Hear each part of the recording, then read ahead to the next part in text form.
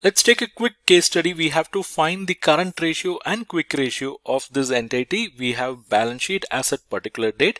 For calculating the current ratio, we need total current assets and here you have the information about current assets and we also need total current liabilities and here we have information about current liabilities.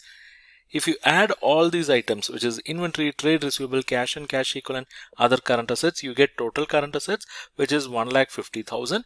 And here you have current liabilities. If you add all this, you are going to get 50,000. So current asset by current liability will give you current ratio and it is 1,50,000 by 50,000. You get it as 3 is to 1.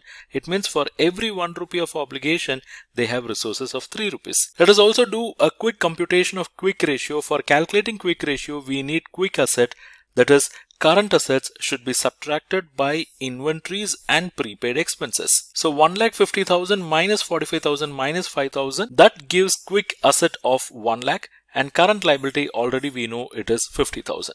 So quick ratio is quick asset by current liability which is 1 lakh divided by 50,000 and we get the ratio as 2 is to 1. It means for every 1 rupee current liability they have quick assets of 2 rupees.